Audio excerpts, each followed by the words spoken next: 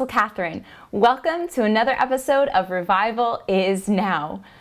On the past few episodes, you've been learning how to receive deliverance, healing, and abundant life, how to receive miracles from Jesus. And in this revival, this is what we are seeing a restoration of the miracles, freedom, healing, the works of the devil destroyed.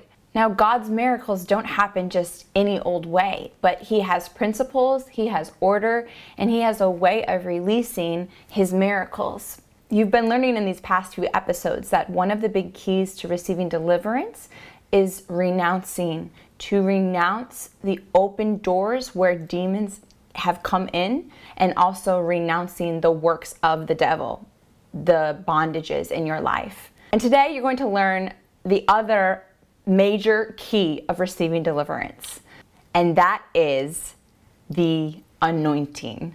And it shall come to pass in that day that his burden shall be taken away from off thy shoulder, and his yoke from off thy neck, and the yoke shall be destroyed because of the anointing. Now, this picture here, when we look at it in the physical realm, a yoke on the shoulder, this speaks of a of ox that carry a heavy load, ox or, or cattle that carry goods or people. And how they would do that, how did they still do that in some places today, is they put a brace across the ox's or cattle's back. They put a brace across the ox's back on their neck. And it is a brace, it is heavy, and they are stuck in this brace. They cannot get out of that brace, get out of that yoke on their own. They would need a human to lift it off of them. And so it's very heavy, they're stuck. That's what a yoke is in the physical realm. So in the spiritual realm, there are yokes, spiritual yokes. What a yoke is, is a bondage, like that brace around the cattle, but spiritual, a spiritual heavy bondage that cannot go away with your own ability. You cannot take it off on your own, but only the anointing can destroy those yokes. As it says, the yoke shall be destroyed because of the anointing. The Bible says in John 10:10 10, 10, that the devil came to steal, kill, and destroy. But I, Jesus, have come that you would have life and have it to the full, have it in abundance. And it also says this is the, this is the reason the Son of Man came to destroy the works of the devil. So Jesus on the cross destroyed the curse of the devil, where all of his works, all of the yokes he would bring before, people were stuck with them as a curse. But now Jesus has come to destroy that curse that the devil would have power over God's children. And now we can receive freedom from the yokes that have entered our lives through Jesus. The thing is is that the devil is still at work today. Jesus has defeated him from having power over us when we put our faith in Jesus. But when we become a believer, we don't automatically just become free of everything. We don't automatically see the devil stop trying to send weapons against us in our lives. It's quite the opposite. The devil is still at work. If you can read the Word of God with revelation, follow the Word of God, be spiritually equipped, you can have victory over every single attack of the devil. The problem is, is that much of the body of Christ has been malnourished in the spiritual things, in the spiritual teachings, knowledge. Their eyes have been shut. And so the devil's still at work and he's able to have victory in the forms of succeeding in bringing yokes in people's lives, stealing, killing, and destroying. Because many believers either aren't serious about surrendering to God and defeating the devil, or they don't know how to defeat the devil. In many believers' lives today, there are yokes. The devil is trying to steal, kill, and destroy every aspect of your life physically, emotionally, spiritually, mentally, financially, relationally. Every part he's after. And so these yokes can be found in every area of your life. You may need freedom today from yokes in several areas of your life. So, Jesus has come so that we can be freed from these yokes. And this is what we are learning now how to receive that freedom from Jesus that He's provided for us on the cross. Yokes are demons or demonic oppression or unclean, evil spirits.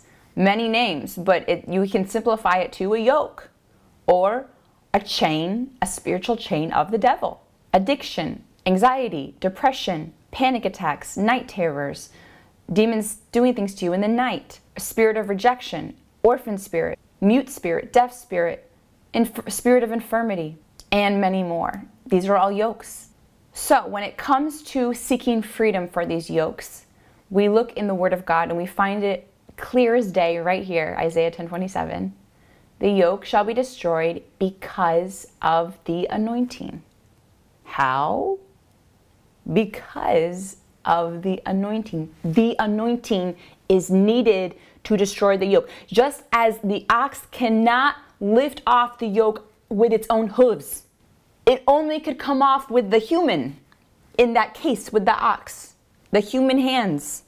In the spiritual realm, the yoke can only be destroyed by the anointing, not by physical efforts, not by a loud voice, not by a minister touching a person and pushing them down, not by placing an object on the person's head or body, not by playing special music, by the anointing. You need the anointing to destroy the yokes. The anointing is the power of God, the measure of the power of God that God places in a vessel. That measure of the power of God lives in a vessel and flows through the vessel as the vessel obeys God through their words, through their actions, through their ministry. From the Old Testament to the New Testament, you can see God releasing anointing to his vessels and his vessels walking in mighty power of God. It is the anointing that makes the miracles to happen. God chooses to use people. It's just what he chose to do. He could have done it another way. He could have made miracles come from the sky. He could say, whenever you need a miracle, stand outside your door and I'll make it to rain on you. He could have chosen many other ways, but God chose it this way that He would put Himself, His power, in a vessel. This is, I'm saying this by and large, God can do anything. God doesn't need to use people. And there are times where He can choose not to use a person because He's God. And there's always, God's always doing different things, new things. He's not confined to it has to be this way. But he has principles. And when we look through his word, there's a way that he moves in the most part, and that is through people. And he wants you to know that this is his principle, this is his way of releasing his power, so you know where to find his power. So we see in Elijah that he was carrying anointing and he was doing many miracles. Here are some examples. Elijah brought down fire from heaven to defeat his enemies. There was a widow who was hungry and God used him to make there to be miraculous provision, food for her and her son to eat and not die. By the power of God, Elijah raised a dead person back to life. And as a prophet of God, he spoke the word, and the rain stopped. It ceased to rain. And once again, as he spoke, the rain then began to fall. God also used him to part the Jordan River. And by the way, when we're speaking of vessels who walk in God's power, it is God doing all the miracles. It is completely His power. Humans who carry the power of God, they do not have uh, their own supernatural power. It is purely Jesus' power. We are just vessels. But God really sees it as a partnership that as we obey Him, as we do what He says, He releases the power through us. And He's also given us authority on this earth And so Jesus says to the disciples, You heal the sick, you cast out demons, you raise the dead. Well, now it is really Jesus the one doing it. But because God's given us authority and because He honors this partnership, He chooses to even say, You do it. So, side note when you're talking about, in terms of the proper verbiage to use when talking about anointed vessels, like do you say, they healed the person or God healed the person? It doesn't matter too much, but what's important is for it to be known that it is Jesus alone who does every miracle and it is Jesus' power. But because Jesus says, You heal the sick, if a person says, This person healed, when it's known that it's God's power and God's getting the glory, that's okay. But it is Jesus' power alone who does every miracle. Now, Elijah had a spiritual son, Elisha, and Elisha served him in his ministry, and he received Elijah's mantle which means that same anointing that God entrusted to Elijah, it came upon Elisha. And so then Elijah was doing the same miracles that Elijah did. Elisha also parted the Jordan River by God's power. He healed people by God's power and he rose people from the dead by God's power, as well as many miracles. And even when he died and all that was left was his bones, his bones carried anointing still. The Bible says that a dead person was thrown on Elisha's bones, and that dead person came to life when he touched Elisha's bones. This is a true story, not a fairy tale. Wow, God's anointing is powerful. Moses was another one who walked in the anointing. There's so many miracle signs and wonders that God did through Moses. God used Moses to do mighty signs and wonders and miracles that confounded the enemies, the Egyptians who held them in bondage, confounded them, made them to fear God, and ultimately led them to be delivered from the several hundred years of slavery. God used Moses to cause supernatural plagues to happen. And God used Moses to part the sea, which was the moment that they were able to be delivered from Egypt. And the seas came back together and all their enemies were washed away. And Moses had a spiritual son as well, Joshua.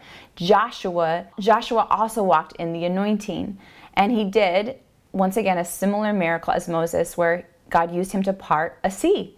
He also used him to stop the sun. And then in the New Testament, we see God doing the same thing, using vessels with his power to do miracles. Jesus talks about how he is giving authority and power over demons, over all demons and all sicknesses.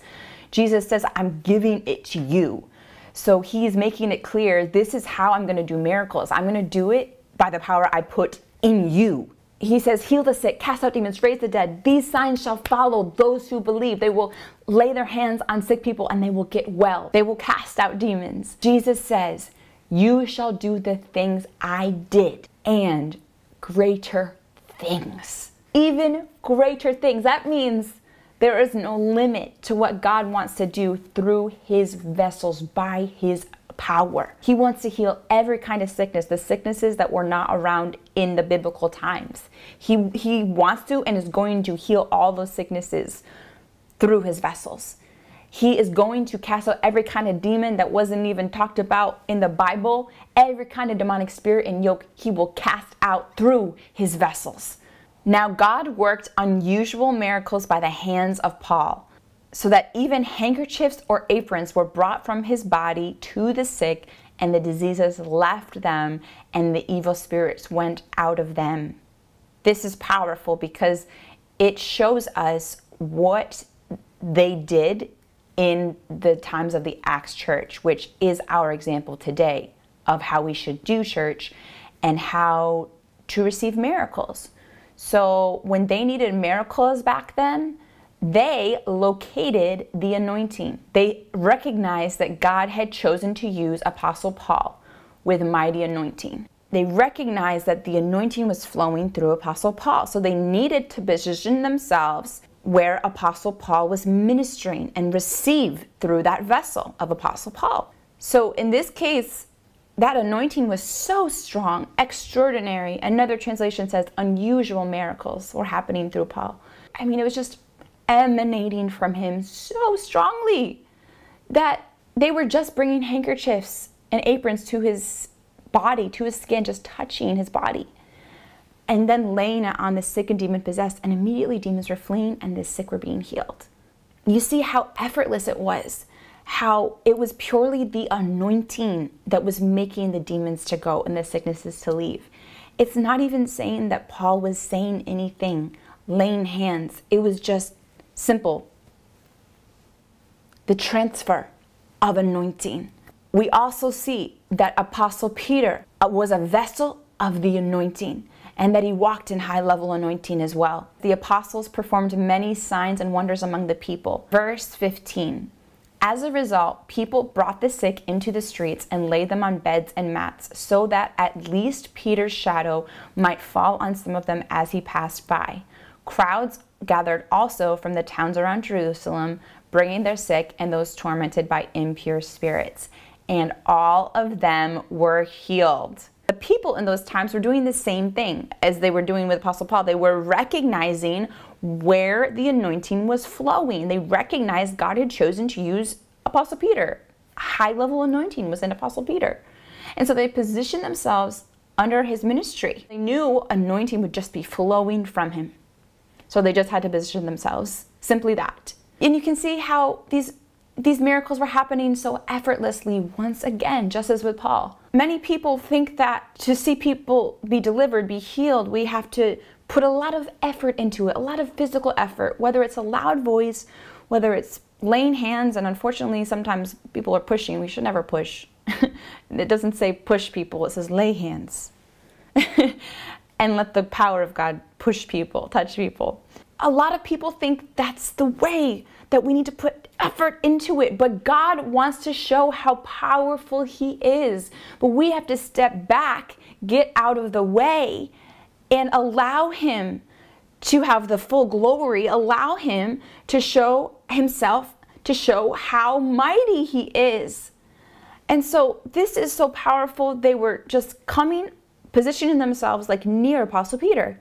And so his shadow falling from the sun, beaming on him, would pass by people. And when it did, demons were literally just leaving, sick were being healed. So simple, so powerful, so effortless.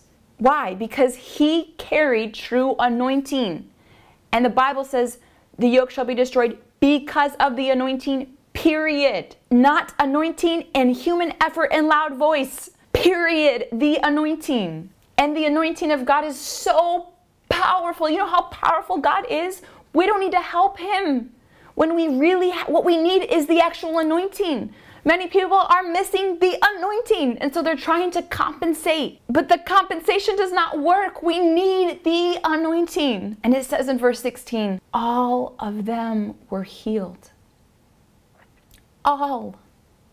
All of them. All of them. Not 50%, not even 99%.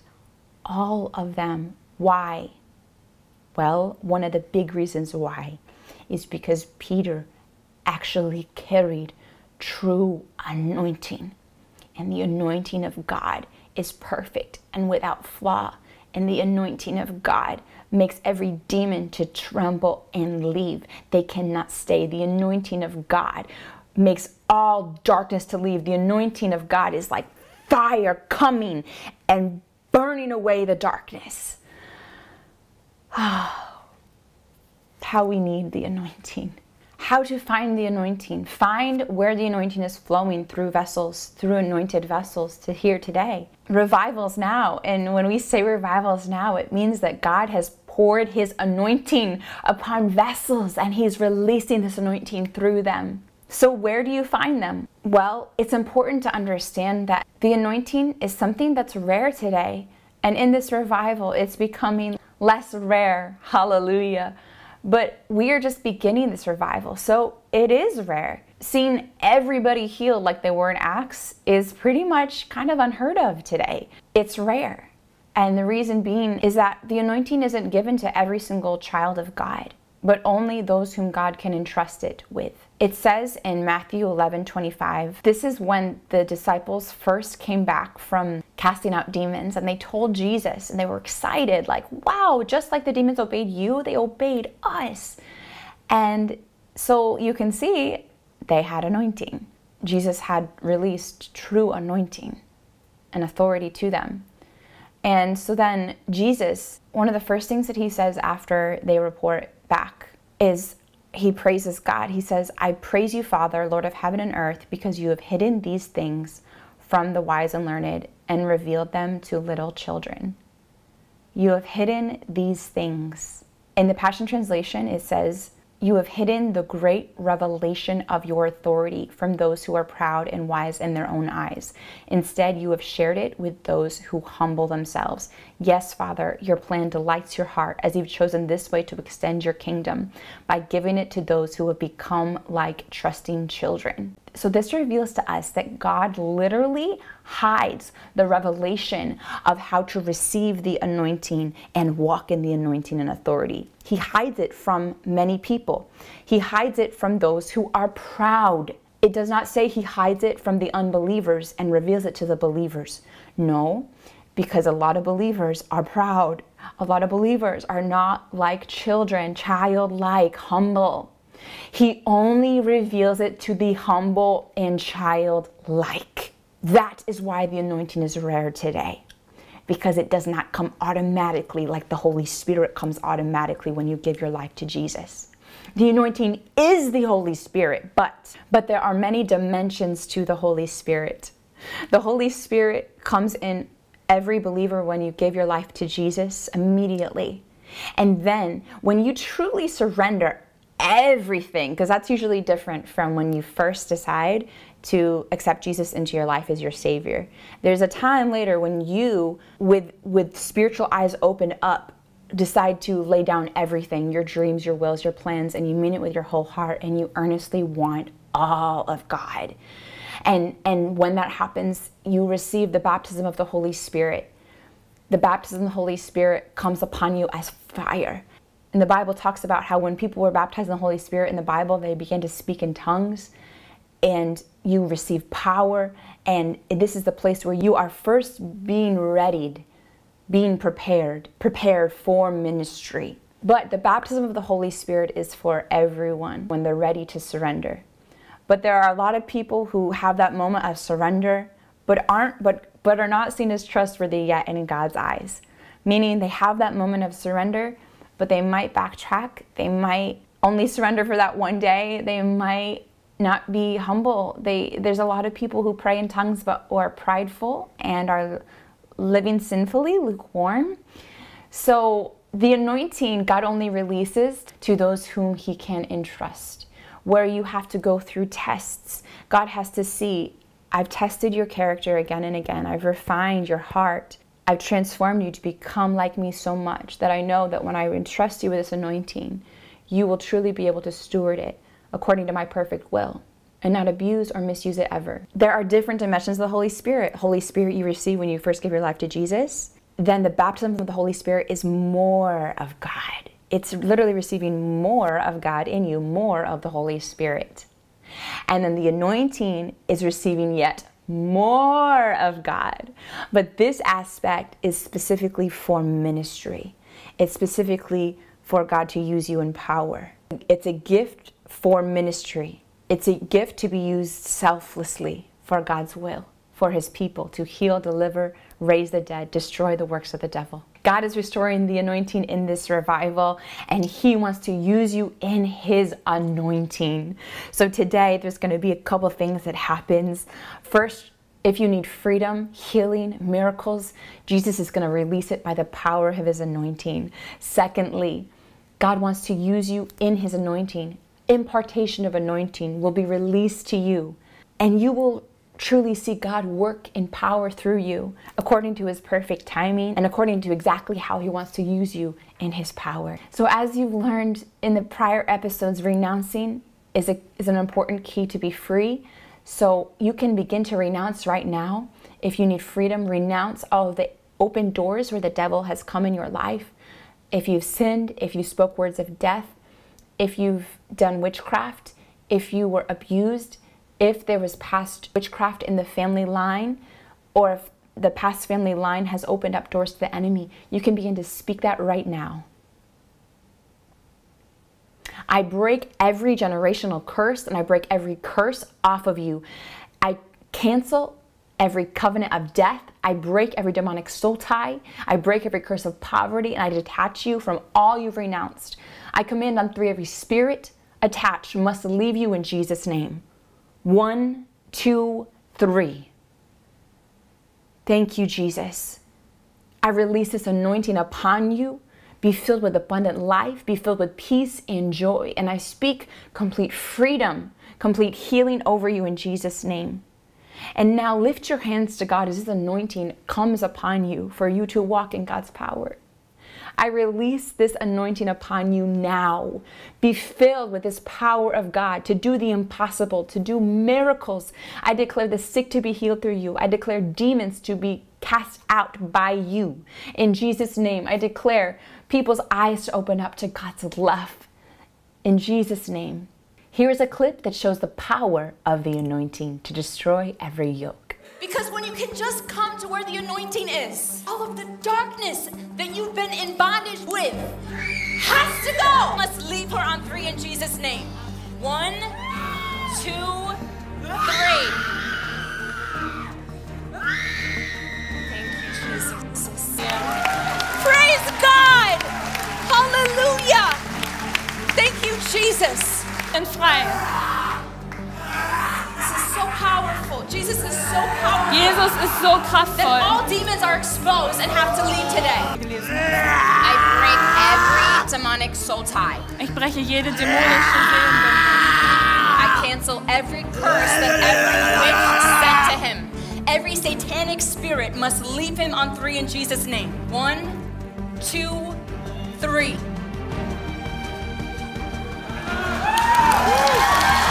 Three. You are free.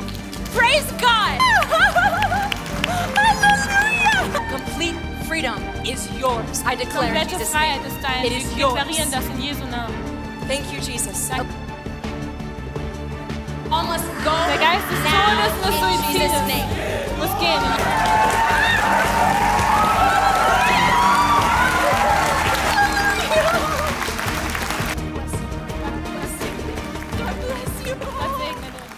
Thank you for watching. I can't wait for the next episode. Revival is now.